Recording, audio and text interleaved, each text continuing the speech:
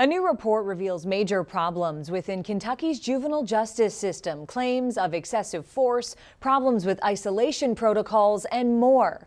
As WDRB's Monica Harkins tells us, this report gives us a rare look at how officers are treating kids behind bars. It's definitely interesting, Hayden, because a part of this is something that people don't get to see on the everyday. If a child is taken into a place where they have to serve, aka detention centers, jails, you don't know what's going on once they go back there. It's only coming out in reports just like this. But Hayden, the biggest takeaway from this report that I found today is pepper spray is being used. We know that that's legal, but the report says it's being used at a rate 73% higher than what's used at adult prison facilities. Wow. Adult prison facilities are using pepper spray less.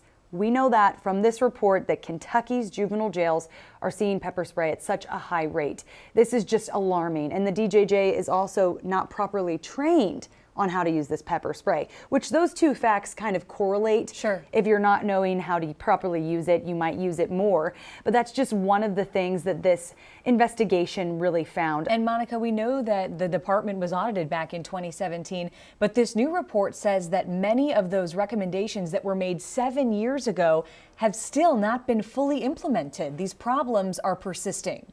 And if that doesn't tell you something about what's going on, I don't know what does. There's obviously something bigger than just one year or one type of leader going on in the DJJ. This is dating back several years. So we know what an audit is. You go, you investigate, you find reportings. So now this new report says there was a 2017 report. They didn't make the changes. Here's our findings.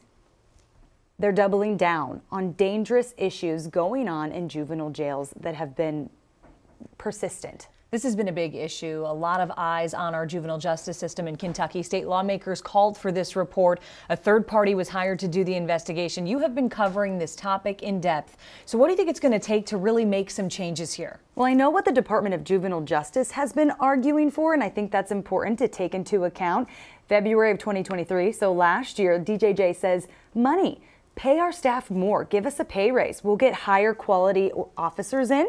We'll be able to have a higher level of, of care for these kids. They're also understaffed, so that helps with the multifaceted issue. That's what the DJJ wants to see. Again, mm -hmm. just to reiterate, we're talking about kids that are, you know, serving time in these juvenile justice facilities, detention facilities. We know that you'll stay on it for Monica. Thank you. Absolutely.